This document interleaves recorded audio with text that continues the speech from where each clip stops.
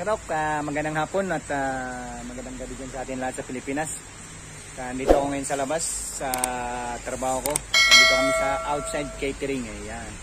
So, ipapakita ko sa inyo kung anong meron dito sa loob ng Garafa Hall na to. Kasi malaki to yan. Ayan. Uh, dumating na yung bus namin. Uh, tara, tulungan ko muna sila tapos papakita ko sa inyo kung anong meron tayo sa loob. So, ganito po yung trabaho ng isang OFW. Bye-bye! Saan dito tayo ngayon mga kasirok sa loob. Ito yung hall nila oh. Hmm, laki. Hindi to sa hotel namin sa ibang ano to, ibang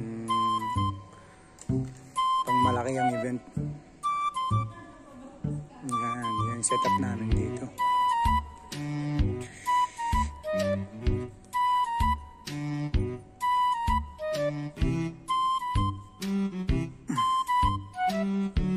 Ganda dito.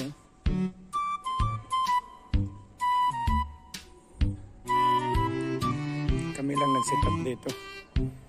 Dito kasi yung ano nila eh. Dito yung main hall nila. Malayo to sa hotel namin. Yung entrance nila.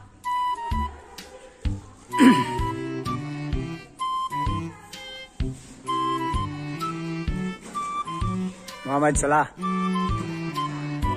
Alhamdulillah. Ito yung entrance nila. Yan. Ang ganda ng entrance nila. Oh. Diyan dadaan mamaya yung kakasal. Pak. Yan. Yan yung pinaka main ano nila. Center attraction nila.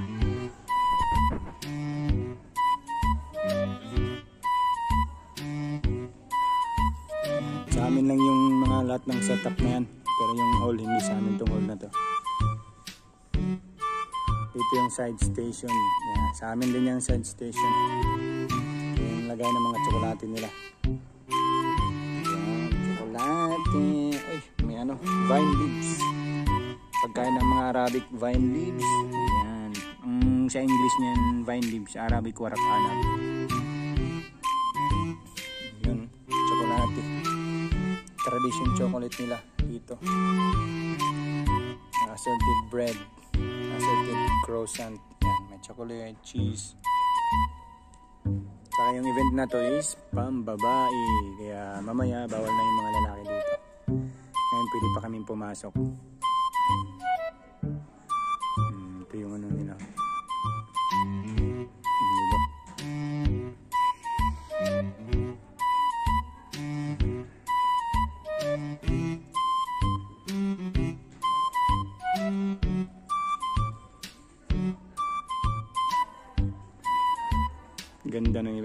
Kinasal, ganito dapat to.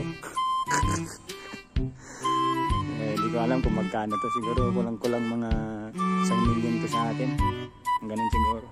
Hindi ko alam kung magkano price nito. Kasi iba-ibang price. Iba-ibang price sa amin. Ibang sa ano. Ito yung TV nila mamaya. Laki ng TV nila.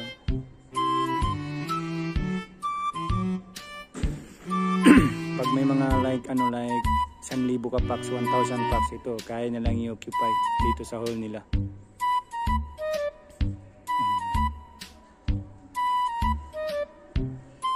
Wala pa to, hindi pa to katulad sa iba na yung mga pang VIP talaga. Hindi pa.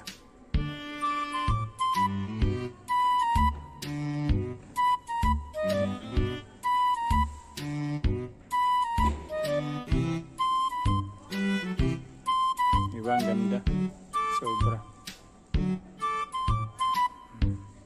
Nagbibitbit pa sila ng mga tsokolate, kanya-kanyang lamesa, iba-ibang tsokolate. Dito yung upuan na ikakasal. Mamaya.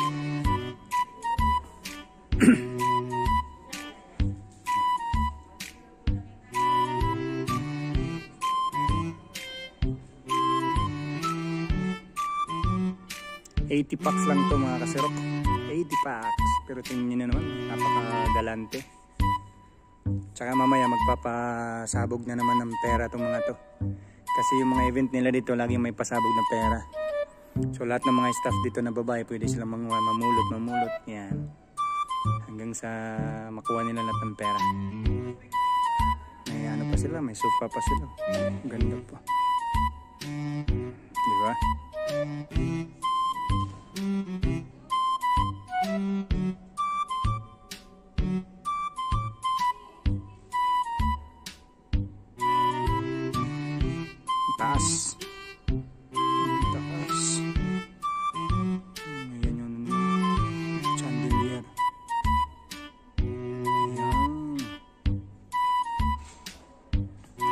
Ikaw pag waiter ka sa OFW, alam mo na ganito mga trabaho namin. Ayan. Hindi basta-basta. Pagod, init sa labas, paghakot ng mga gamit, lahat-lahat. Sakripisyo para sa familia. Ayan. Yan. Mga kasarok, ayan. Yung mga kusinero namin, mga sous chef executive sous chef. Ayan, mga bisita. Uh, pupunta tayo sa loob. Ipapakita ko sa inyo kung meron doon sa loob. Yan mga kasarap, ito yung preparation namin.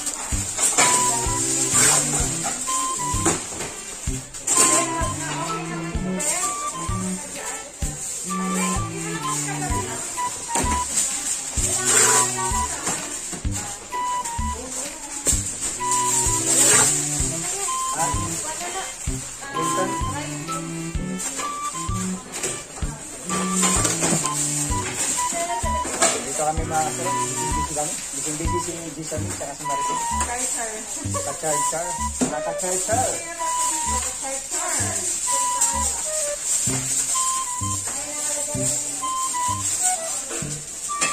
Nakakatuwa pag ganito.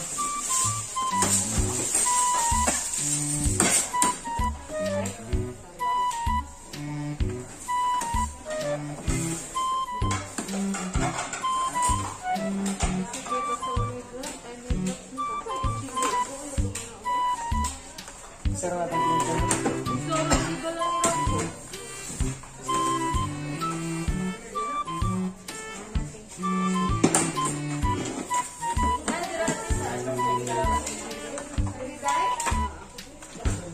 Ito yung preparation ng mga pagkain.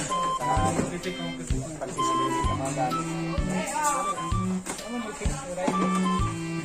Rice.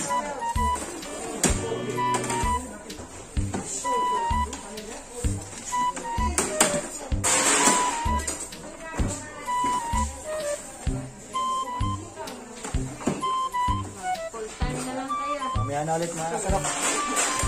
Busy pa kami.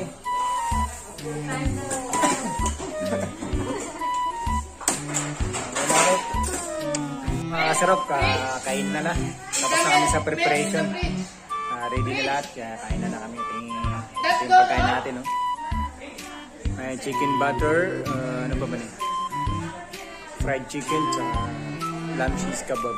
Yung mga tropa natin, no? Yan, Pinay yan, Pinay, hindi yan ibang lahi. Ayan, si Disamin. Ito yung tsura namin pag kumakain sa outside catering. Alright? Yan, shoutout sa pamilya namin dyan lahat sa Pilipinas. Saka sa team mo lang iwanan na lagi nandyan para supportahan tayo sa ating mga gagong vlog. Adun yung iba. Ate, asan yung gatas? Ate.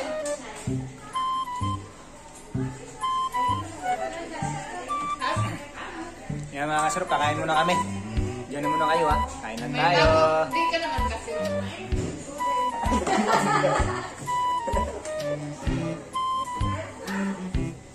Vlogs tayo, vlog, vlog. Kain na.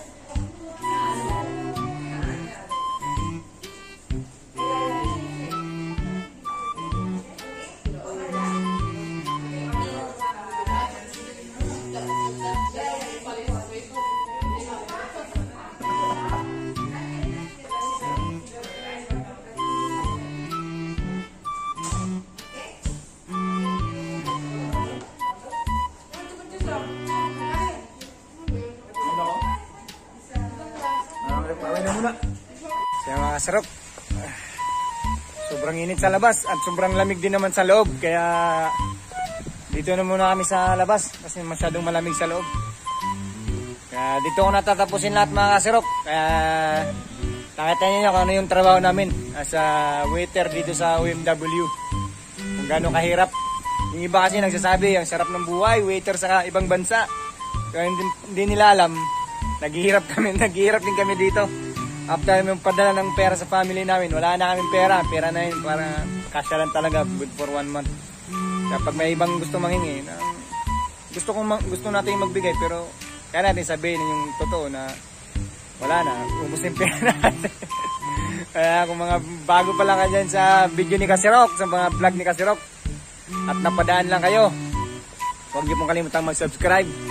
Tapos hit agad yung notification bell para lagi kang updated sa ating mga bagong videos. Ayan. So, shout out sa pamilya ko dyan sa Pilipinas.